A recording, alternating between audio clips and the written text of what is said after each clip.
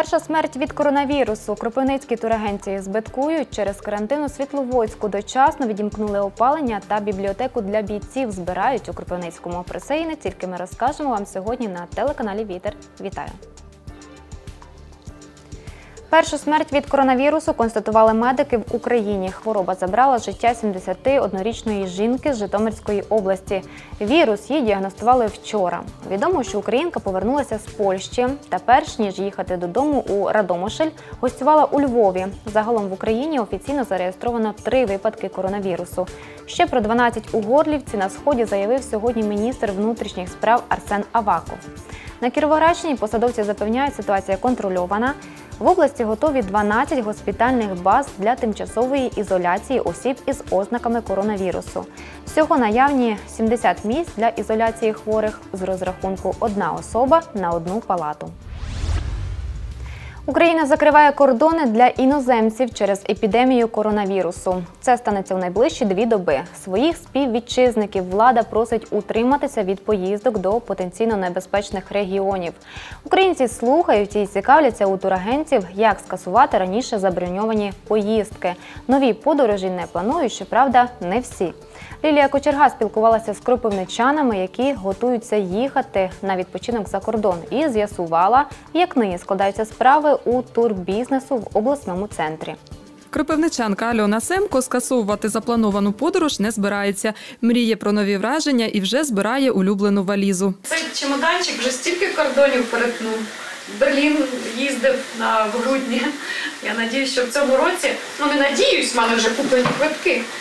Е, Він ще сьогодні, ой, в цьому році ще поїде. Теж хвилюється через коронавірус, але паніці не піддається, зізнається кропивничанка. Каже, мабуть, немає місця, де можна почуватися абсолютно безпечно. Закликає стежити за особистою гігієною і мислити позитивно. З приводу подорожей в цей час я не бачу абсолютно нічого поганого в тому, що люди подорожують.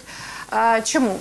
Тому що перебуваючи на теренах нашої країни, зараз ти абсолютно нічим не захищений. Я користуюся і буду брати з собою е, засіб, антисептик і раджу всім, тому що е, це спиртова основа, не менше 60%, 60% має бути там спирту, щоб діяло, якщо в мене не буде можливості помити руки з милом якісно, ну тому що це дорога буває по-різному все, то я буду використовувати або вологі серветки з містом спирту, або ж е, антисептик для рук. Жодного туру не купили цього тижня в деяких турагенціях Кропивницького. Причину падіння попиту ми намагалися з'ясувати у містян. Лише одна людина з опитаних не висловила жодних пересторог щодо поїздок за кордон. Думаю, що варто, смисл тут сидіти. Інші опитані категорично проти подорожей у період карантину. Я думаю, що три тижні не варто виїжджати за межі кордону для збереження свого ж здоров'я. Я думаю, що варто утримуватися від поїздки, так як е, ну, в країні така ситуація склалася. Ну, слід сидіти вдома. Знаю, ну проводяться навіть навчання такі е, масові там. Мали проводитись в Італії е, у знайомих, то відмінили. Ну, звісно, там же ж взагалі ізольована країна. Ну і думаю, зараз не бажано мандрувати взагалі нікуди. Не панікувати закликають в турагенціях. Утриматися від поїздок радять лише в найближчий тиждень, поки з-за кордону масово повертаються заробітчани. А України, де найбільший ризик підхопити коронавірус, рейси і так скасували.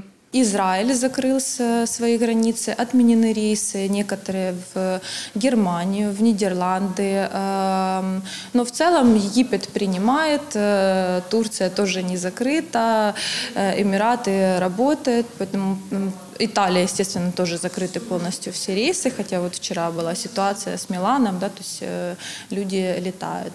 Ціни на тури відчутно знизилися, констатують у турагенції. Полетіти удвох в Єгипет нині можна за 300 доларів, за 450 – в Емірати. Раніше Єгипет обійшовся парі мінімум у 600, Емірати – у 800 доларів. Туроператоры нам предлагают самые вкусные цены сейчас, э, самые выгодные условия, даже какие-то приятные бонусы для туристов в плане там, бесплатного трансфера или индивидуального трансфера. Мы работаем. Также сейчас уже придумали новую функцию страховка от коронавируса. Можно себя застраховать э, в случае, если, там, не дай бог, человек заболеет или же у него будет отменена поездка, страховая компания возместит ему все убытки. Подорожувати чи утриматися – особиста справа кожного. Прислухатися ж до порад медиків варто всім. Дотримуватися правил особистої гігієни, уникати людей, які мають симптоми застуд, а за перших ознак хвороби звертатися телефоном до сімейного лікаря. Лілія Кочерга, Григорій Зуб, Сергій Баранюк, телевізійні новини СІБІН. Двоє життів забирала пожежа у ніч на 13 березня у Світловодську. Зайнялася квартира у багатоповерхівці. Родина вже спала.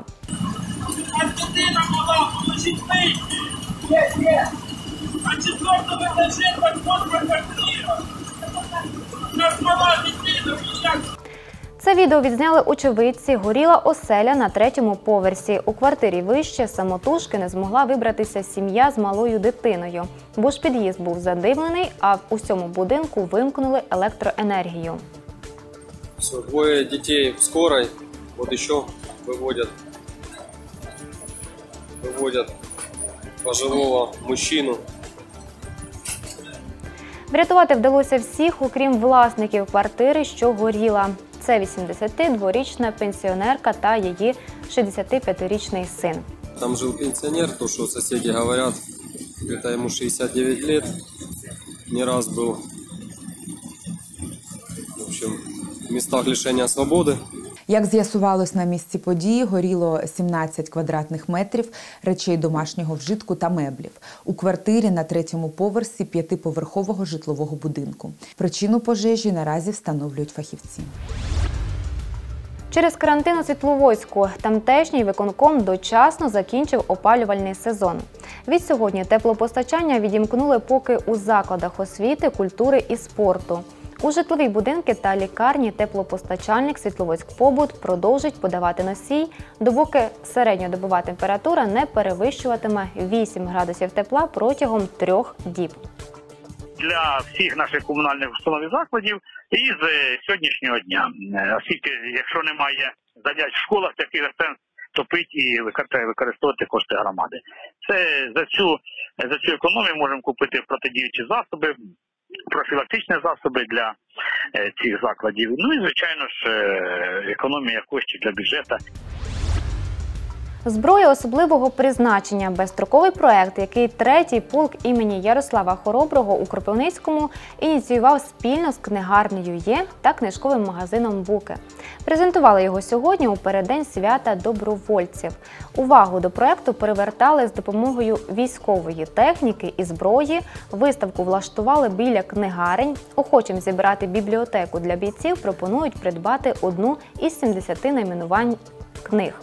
Їх облаштували на спеціальній полиці у книгарні є, а в крамниці Буки виручені кошти від продажу книг, виставлених теж на, е, тематичному стенді, передадуть на лікування ветеранів війни.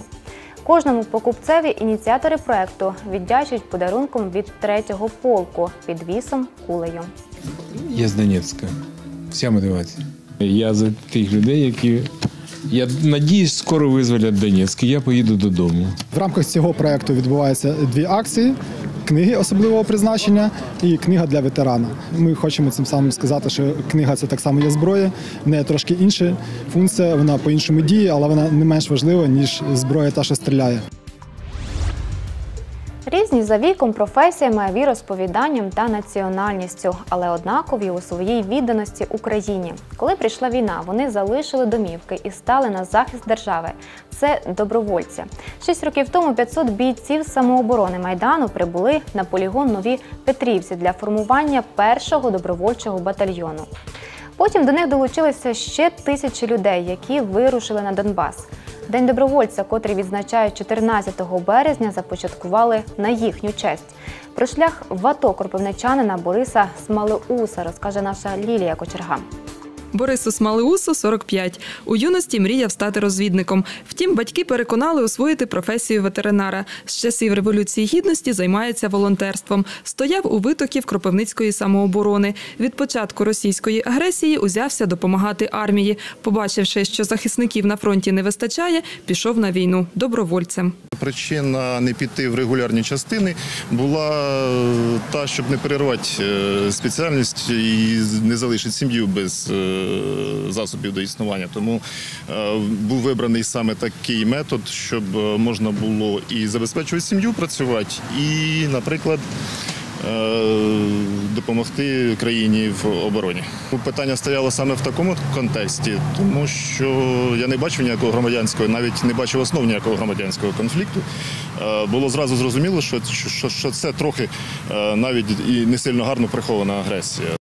Улітку 2014-го Борис Смалеус вже був на передовій. Займався розвідкою питаннями логістики. Зізнається, доводилося брати до рук і зброю. Коли приїздив додому, намагався заробити гроші для родини, збирав допомогу для армії і повертався знову на схід. Жити доводилося у шаленому темпі, інколи майже не спати, їсти раз на день. Вибір чоловіка нерідко не розуміли і засуджували. Дуже було багато знайомих, е, які на той час е,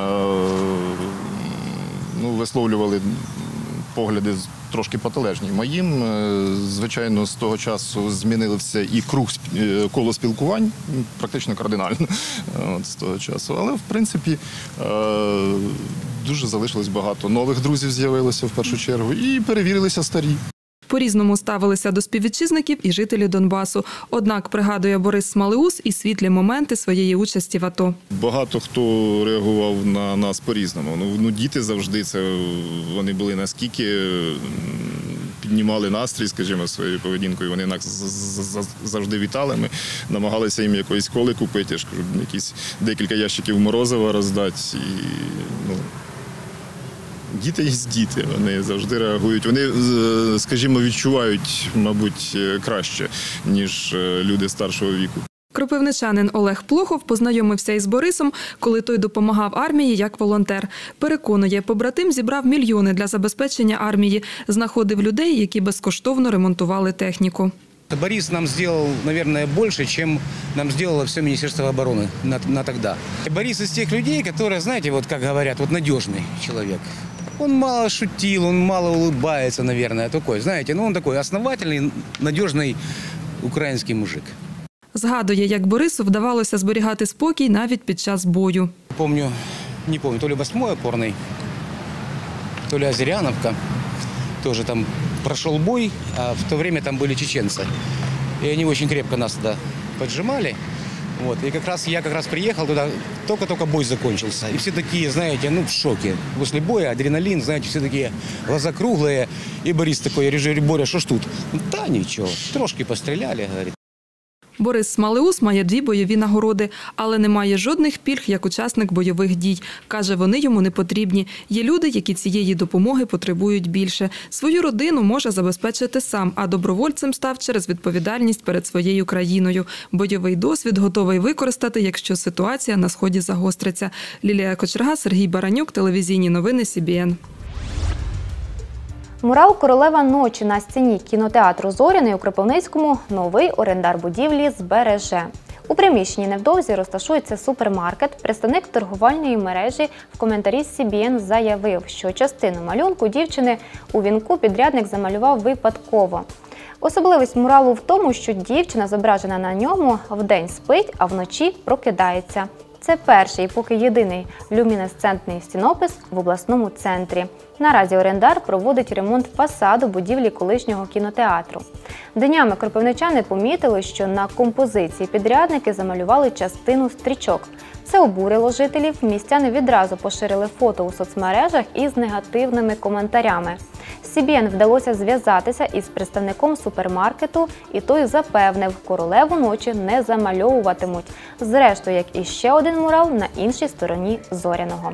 Це проводить підрядна організація, яка здійснює ці роботи, і вони випадково зафарбували частину муралу.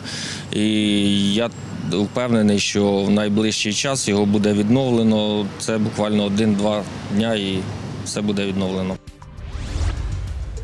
Такими були новини на сьогодні. Ще більше інформації ви зможете знайти на нашому сайті. Втім, не спішіть перемикати вже за мить. Марія Тарасенко розкаже, якою буде погода на завтра. Я ж з вами прощаюся. До зустрічі на телеканалі Вітер.